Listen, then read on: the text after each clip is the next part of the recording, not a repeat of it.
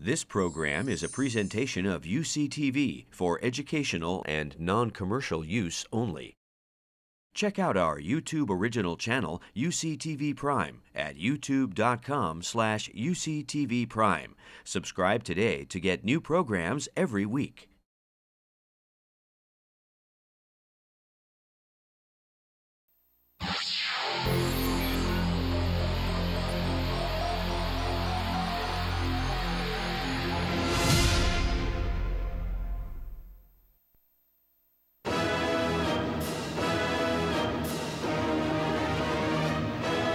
UCLA is a university with unlimited possibilities for students that desire world class academics and research, unmatched diversity, incredible cultural and social opportunities, successful alumni and career networking, first class campus facilities, plus America's top intercollegiate sports teams.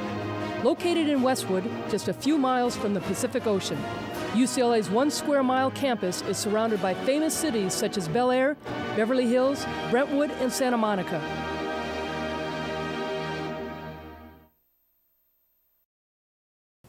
Hi, everybody, and welcome to Westwood for another edition of UCLA Bruin Talk. Alongside Allison Taylor, I'm Dave Marcus. Glad to have you with us. Today, we're going to talk about two powerhouse women's sports programs on campus that are making the seasonal transition from indoor to outdoor. First, we'll visit and talk track and field right after this message. Before we meet our first guest, let's take a look at the upcoming events.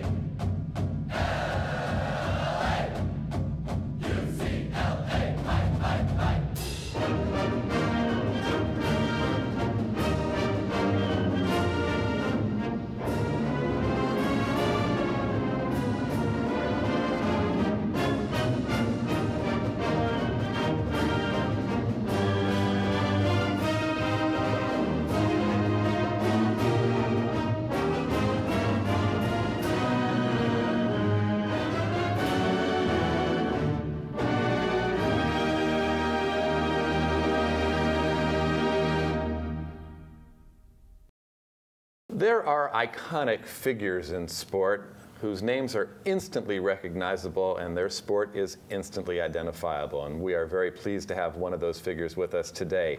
Jeanette Bolden is the coach of UCLA women's track for 18 seasons, former Olympic gold medal winner, coach of the U.S. Olympic team. Welcome to Bruin Talk. Thank you. Good morning. Good morning. Uh, it's uh, the beginning of the outdoor season, as we mentioned. Uh, what has the team learned from indoor that's going to transfer to outdoor? Well, first of all, you know, we have an extremely young team. I have 47 underclassmen. And uh, it's, it's just tremendous to coach all those young ladies. Uh, we just finished the Mountain Pacific Championship where just about over half of my team had personal bests in the hurdles, the sprints, the high jump, long jump, triple jump, and the distance. So the future looks very bright for UCLA women's track. I, do you worry as a coach when your team members all have personal bests this early in the season? Well, you know, as a coach, you want that. You want them to continue to improve and do their best. And right now, we're just so excited for the outdoor season. Uh, the team is so young and wasn't really able to come around great for indoors, but we have Ida Storm, one of my fantastic, sweetest uh, uh, weight thrower, and she's going to the NCAA. She's ranked seventh right now in the country, and she's going to bring back some points for the Bruin women. You know, Ida Storm is a shot putter in the indoor. She throws the hammer in the outdoor. I always have a picture of her throwing the hammer through the roof of the indoor arena, but uh, uh, she has one of the great names in track. How do you recruit someone from Sweden to come to Westwood? You know, one of the things, uh, Coach Mike, Mike Maynard um, is our throws coach, and he has a very good connection with the Swedish athletes. And Ida's been on our radar for a very long time, won the junior championship, and she fell in love with UCLA, and, and she just has a great time here. With 47 underclassmen, like you mentioned, who do you look to on the team to be that leader? Where do you find the voice of the team within the athletes? We have some fantastic captains. You know, Tori Anthony, my fantastic uh, pole vaulter, is one of our captains. Um, a runner-up at NCAA uh, in the 40 meter hurdles, Turquoise Thompson is one of my captains. Yasmin Woodruff, Kanaya Richardson, and uh, Katia Goldring. I have five captains that really kind of rally the young ladies around. You were a great sprinter when you were an athlete. Just a little bit. Well, a little bit. The, you got a gold medal hanging around your neck from the 4x100 relay in Los Angeles. Uh, as a sprinter, now you're the coach, and you have to learn about all the field events. Mm -hmm. You know, sprinters and field event people don't always uh, mingle that much when they're working out.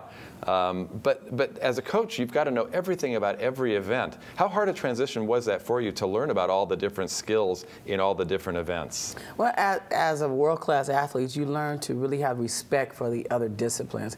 And one of my best friends is Jackie Joyner Kersee. As, she, as you know, she's a world, world leader in the heptathlon, and uh, she did seven events. So I, I kind of have a love of a lot of different events, just learning and watching Jackie.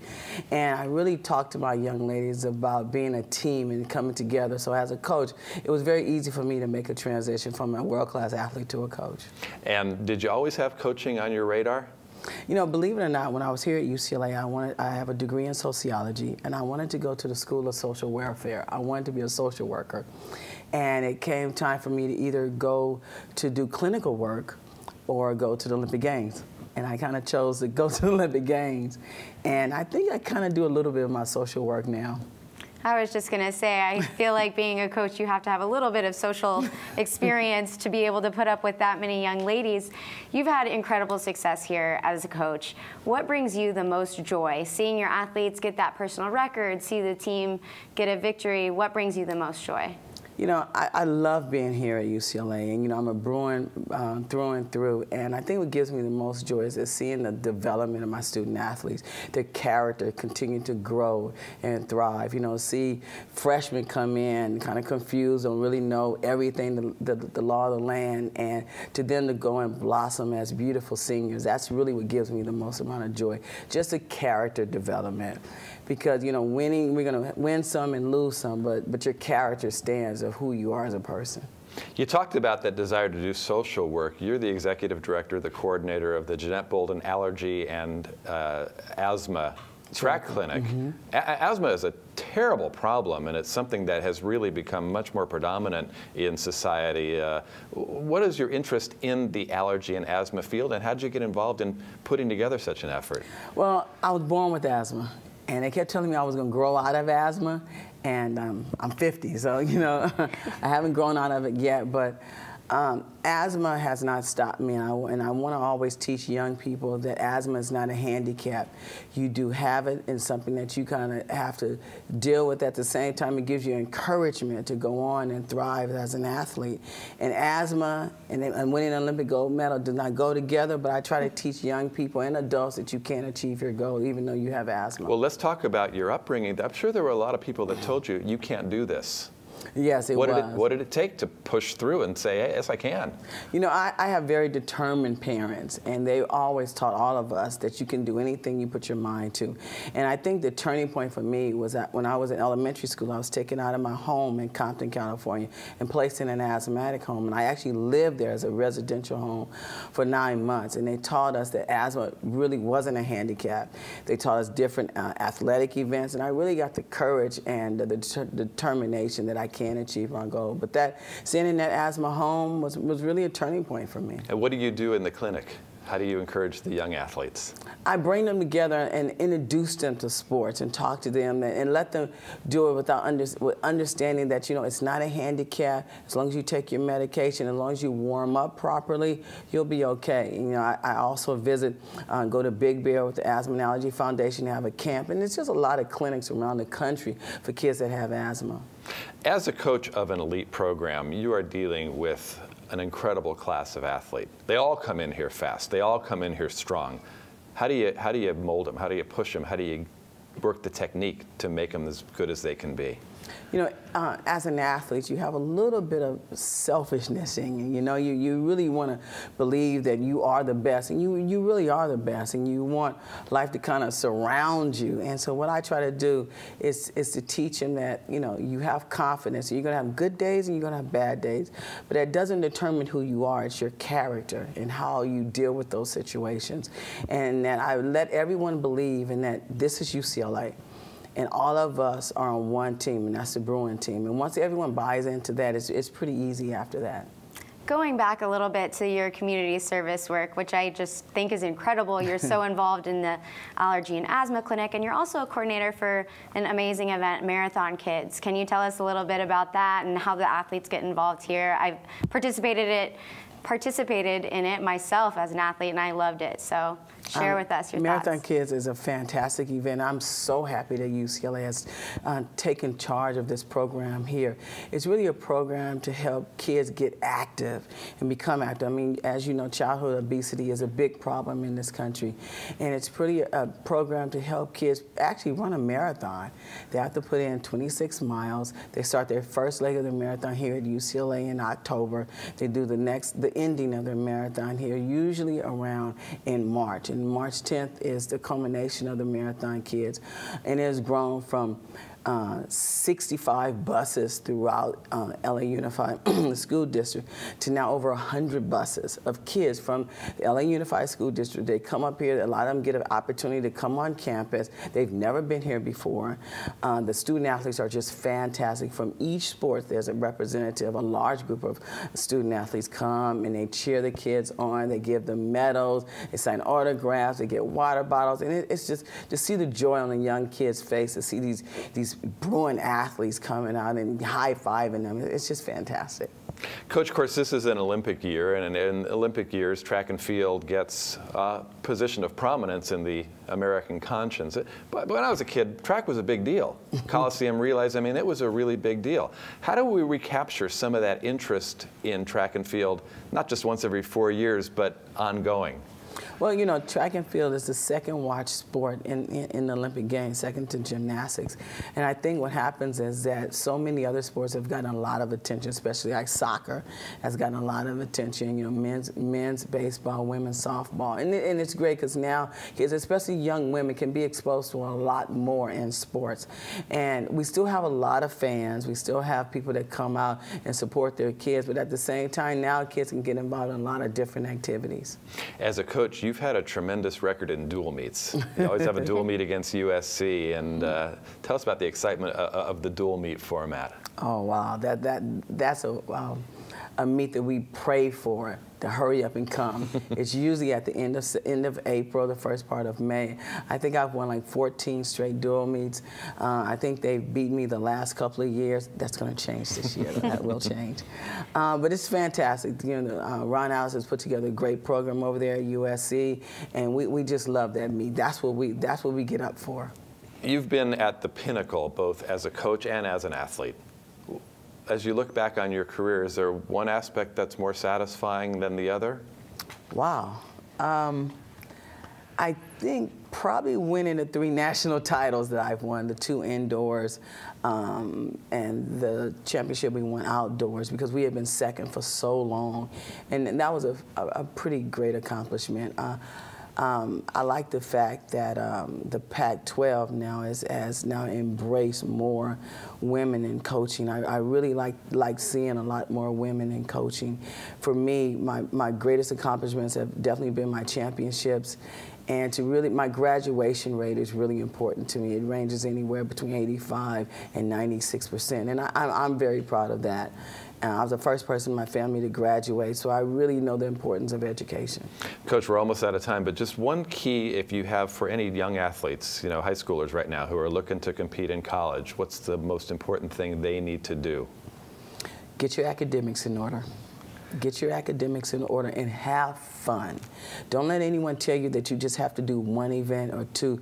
You know, spread your love around. You know, if you want to do two or three different events, that's great. Do that, but have fun. Make sure you know you you go to summer camp and make sure you're a kid. You know, you go to the prom and you have fun because you're going to have time to really hone into exactly what you want to do, but explore everything as a young person. Coach, love sitting down with you. Good luck to the Bruins in the upcoming season. Thank you very much. Thank you. And we'll come right back for more UCLA Bruin Talk after this brief public service announcement.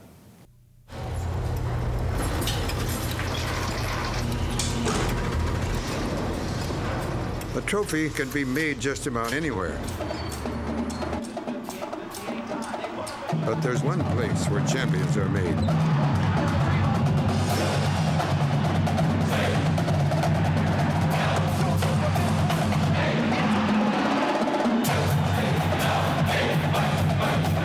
UCLA, champions meet here. Hi, everybody, and welcome back to Bruin Talk. It is now time to honor our Student Athlete of the Week. This week, we honor Wes Dunlap of the men's volleyball team as our Athlete of the Week. Going into a big stretch of matches, Wes leads the number one team in hitting, ranked at the top of the leaderboard in MPSF statistical categories in hitting percentages. Dunlap helped the team sweep Cal State Northridge in various critical blocks. A quick hitter, Wes led the nation in kill percentages at 446 and is a considerable force this year as well for the Bruin team. Congratulations, Wes, and good luck with the rest of your season. If you would like additional information about UCLA athletics, please visit our website at uclabruins.com. Hey, Allison, don't tell anybody, but UCLA women's tennis are 12 and 0. They're number one in the country. Okay, we well, don't want to put I a target on it. their back. But we're actually joined by a couple of members of the women's tennis team. We're going to talk about the great start the Bruins are off to. We have Carling Seguso and Courtney Dolehide with us. Is that something we want to whisper or we want to shout? Um, I think you can shout it. I mean, we. Uh, I think when we had our number one ranking before we played SC, we were kind of wanting to hush it because we weren't sure exactly. We don't want to get ahead of ourselves. But now I think it's okay to shout because we've yeah, I think we're pretty excited about it. We still want to stay humble and, and focused, obviously, but we're pretty excited, especially after the win against SC. Tennis is, is a game, uh, obviously, of great physical demands, but there's a huge mental edge to tennis, too. So I, I was kind of joking, but seriously, things like that, you know, whether you want to crow about the fact that you're undefeated and number one, or whether that's going to motivate somebody, how much of a role does the, the mental part of that play in getting prepared for an opponent? I think the mental side of tennis is probably the most important part. Um, so I definitely think we don't want to dwell on the fact that we're number one, um, especially because there's teams that we haven't faced yet, like Stanford and Florida. But we're definitely still excited about it and trying to stay motivated. Carly, it's the first time the Bruins have been number one for a while, yeah. and uh, obviously that does have to breed confidence on the mm-hmm. team. Ha can you can you sense a different attitude even in the, the, the weekday practice sessions? Um, we were actually told to really stay humble, and I think most of the girls have. Especially, it's more I think for the freshmen because um, we have such a new team, and us older girls we haven't been one yet, so we're just taking it as, oh, this is nice, like we've never experienced this. So I think it's more for the freshmen, like coming in saying, we're number one, like stay humble, this doesn't always happen. And, but I think in terms of practice, they've been great. We have, well, we're both sort of injured and we have some other people yeah. who have some little tiffs, but um, it's been going well. I mean, everyone's just training just like they were before, and I think everyone's just really excited. I think especially because of the injuries, we're trying to stay really focused because you never know what can happen, you know. So we're just trying to practice hard and make sure that we stay ready and on our game. Not only are you guys undefeated and ranked number one in the country, which is going to bolster confidence, but you guys also won the first indoor national championship for UCLA. Tell us a little bit about that experience and how it's going to help you guys going forward. Yeah, it was really exciting. It's nerve wracking. Uh-huh. I mean, I only played doubles, and then well, she played yeah. doubles too. So it was we are more watching the whole time, and it's so nerve wracking. That's almost more nerve wracking, right? It is, it is so. It's, it's, the worst. It's definitely more nerve wracking. Like cheering for six girls, not knowing what's going on, looking at the scoreboard. But yeah. it, it was a great experience. it was really exciting. I mean, I know last year we didn't have the best um, run at National Indoor, so it was completely different. This year we got to experience, you know, going all the way to the end and actually winning, and then sprinting to the airport to try to catch our flight. Taking midterms. Yeah, It was. it was great. Yeah, well, a lot happens when you're on the road. I mean, student life doesn't end. You've got midterms. You've got to take them. It's, a, it's a big demand, isn't it? Mm-hmm. I took actually one right after we won. We got to the airport and Stella was like, you know what, Carling? I'll give you an hour to study and then you're taking it before you get on the plane. I'm like, you know what? Just give it to me. like At that point, after you gonna win a national championship, you really Yeah, don't. I don't want to say you exactly. don't care, but it's a little yeah. in the back of your mind. Tell, tell, tell me about the difference between playing indoors and playing outdoors. I mean, people that grew up in California play tennis outdoors. What's it like going inside and you don't have the wind and the sun and all the other things to contend with? Indoors is um, it's an advantage for most hard hitters because there is no wind. It's um, a lot faster. It's a lot louder. It's personally, I like indoors, but it's definitely something you have to adjust to. Most teams actually are indoor teams. So besides the California teams, a couple Florida teams, a lot of teams are already like ready for that competition and ready. They know that game style, so it's hard to adjust to. That's why we always go out a couple days early to Yeah. I mean, I think your game is definitely suited for indoor tennis because Carr hits the ball really hard. So it's good for some of us. Um, and I come from Chicago, so I'm used to playing indoor. And I think a lot of our team also, you know, is from the East Coast or the Midwest. So I think we all are kind of used to indoor tennis, but it's definitely a change. Well, Courtney, you get to play here at one of the great venues anywhere for the LA Tennis Center on campus. It's nice to have that as your home arena, isn't it? Yeah, our courts are great. I think, you know, it makes practice more enjoyable knowing that you're playing in a huge stadium. Um, so I, I love it. There's competition not only when you play other schools, but there's competition in your practices too. You're always playing against your teammates, always trying to see who's better, always kind of climb up the ladder. Uh, sometimes is the practice more intense than the actual competitions? I don't think it's more intense, but I definitely think that the competition within our team helps us a lot. So I think that that's great. But um, there's nothing that really compares to competition. Tell us about the focus that your mind gets into before a match. I think we all have unique routines. Um, for me personally, I just listen to my iPod and, you know, we'll just joke around with each other before the match and we have our cheer that we do and we kind of just pump each other up. And I think that that's what makes, you know, college tennis different from junior tennis before because now it's more of a team thing and you have your teammates to support you and I think it really helps. Uh, Carling, uh, you grew up in a tennis family, and of course, most tennis that people watch is an individual sport. But in this team concept, uh, it's got to be thrilling and exciting to, to be involved in the matches. Oh, I love it. I college tennis totally changed my view on tennis. I mean, in, coming into before college, you go juniors and it's all individual, and I don't find that as fun. But just having your teammates there and the support and the screaming, and just getting to know everyone so well and becoming like sisters, it just makes the experience so much more fun. Playing doubles always interesting, and uh, you know it's a fast, fast, fast game. Um, how do you like playing doubles compared to playing singles?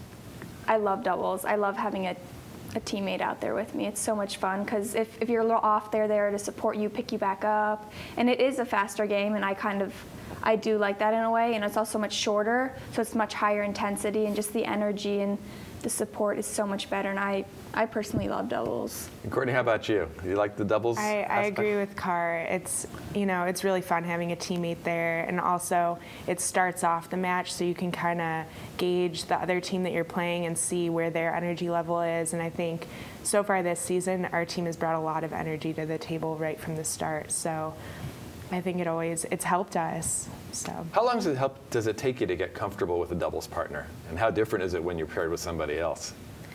Um, it definitely depends on the partner. Um, I mean, if you're close with them off the court, I think it's a lot easier and there's a lot more team chemistry. Um, but it, it takes a few matches. Your freshmen have really played an integral role in your success so far this season, and both of you being older members of the team, how have you guys showed them, you know, how to be a Bruin and how to train like a Bruin and how to go to school like a Bruin? How has mentoring them affected you guys? It's more like getting them to time manage and to be prepared before matches. They've they've come like a long way recently, especially start traveling because our individual season, I feel like it's harder to be a team because everyone's playing at different places, different areas. But now as a team, they've really come along and they've matured. It's more just I don't know how to explain. It. It's just telling them. It's yeah. It's just the experience. Yeah. They're getting better with it and definitely. I think they're definitely learning. Um, it was hard at first. You know, there's four of them, so they they have each other, and so they're not as forced to, you know, get right into it. Last year, I was the only freshman, so um, I had a lot of upperclassmen helping me, and this year there's there's four of us and four of them. So um, I think that they're doing, you know, a great job lately, especially with schoolwork and, you know, just I think they bring a ton of energy to practice, and um, it's really fun. They're great girls. They work really hard. So. Mm-hmm. What, yeah. Carly, what's more important, knowing your opponent's game or knowing your own game? I think for myself, it's confidence, just knowing that like I can hit my shots and I'm feeling good. Because if I feel like that, then I feel like if I'm told the other game, the other girl's game, then I'm fine. I it's all down yeah. to confidence. I feel like i I'm a hitter, so it's more of me feeling good about myself than how they are playing. You mentioned uh, Courtney that Carling hits the ball real hard. How about your game? What's the strength of your game? I, I think I'm similar. I think my serve and my forehand are my strengths. So I think we're both in that aspect hitters, and that's why it's it's definitely important for us to be comfortable with our own games. And I know both of us warm up for a pretty long time to make sure that we're, you know, on point. You guys have gotten off to one of the fastest starts in women's, women's tennis history here at UCLA. What are you looking forward to most for the rest of the season, and what can fans expect from the Bruins? We're looking. Well, obviously, we're looking forward to NCAs. I mean, it's this year it's in Georgia, and we played there before, and the energy is great. The the heat is actually it's really hot. But um, what can we look forward to? Um, support. I mean, I think support for we had the best support we've ever had probably this year for Cal, yeah. and it was amazing. We couldn't ask and a come from behind win. Yeah. yeah. Right. It really oh, helps. That was, that was that was really intense. exciting. It really helps to have you know a crowd, and I think that's why indoors was so great. And Cal, when we had Cal here, we had a ton of people come out and and support. It just raises the energy, and I think that's what's going to make NC is so exciting, being in Athens and having so many people um, there. So well, great things in store for the Bruins. It's the LA Tennis Center. It's right on campus. Stop by and watch them play. And if you can't do that, follow them on UCLABruins.com. want to thank you both for stopping by. Congratulations for a great start. Best of luck the rest of the season. Thank, thank you. I want to thank you for stopping by too. For Allison, I'm Dave. We'll see you next time. Until then, so long from Westwood.